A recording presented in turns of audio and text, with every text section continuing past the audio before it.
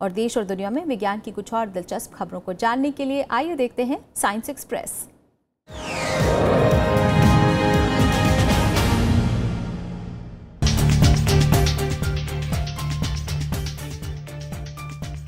विज्ञान को अधिक विस्तृत बनाने के लिए केंद्रीय विज्ञान तकनीकी एवं भूविज्ञान मंत्री डॉक्टर हर्षवर्धन ने हाल में आँखों से लाचार लोगों के लिए विशेष अंग्रेज़ी ब्रेल एटलस का विमोचन किया। एटलस भी एक बहुत बड़ी महत्वपूर्ण भूमिका निभाएगी। इस एटलस को बनाने के लिए हमारे वैज्ञानिकों ने बहुत वर्षों तक निरंतर काम किया है और आने वाले समय में इसी तरह की और कई एटलसेस विजुअली इम्पेयर्ड बच्चों के लिए बनाने का हमारा लक्ष्य है और उस पर हमारे वैज्ञानिकों ने काम करना भी प्रारंभ कर दिया है। ब्रेल एटलस को National Atlas and Thematic Mapping Organisation ने तैयार किया है और इसे देश भर के स्कूलों में आँखों से लाचार छात्रों के बीच वितरित किए जाने की योजना है।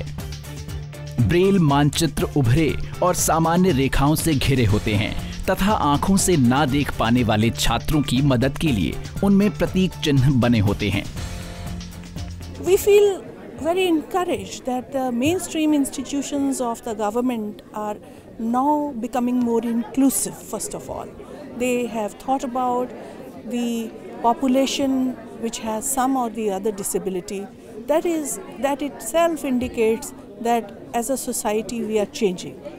Atlas is one such initiative which will create an appropriate environment for learning geography by our students. मैं कह सकता हूँ कि ये बहुत ज़्यादा यूजफुल है और आगे भविष्य में बहुत सारे दृष्टिहीन विद्यार्थियों के द्वारा प्रयोग में आएगा और उनके लिए लाभदायक भी होगा इन एटलस का सारे स्कूल्स तक पहुँचना और इनका उचित प्रयोग होना ही होने से ही ये सभी के लिए लाभदायक हो सकता है इस एटलस में भौतिक सामाजिक आर्थिक और सांस्कृतिक जैसे विभिन्न विषयों पर करीब 20 मानचित्र हैं।